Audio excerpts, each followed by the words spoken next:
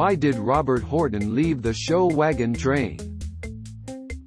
In his six decades of television, Horton, who became known for his voice, was most noted for his role as the frontier scout Flint McCullough in the television series Wagon Train from 1957 to 1962. He eventually quit the series to pursue a career in musical theater.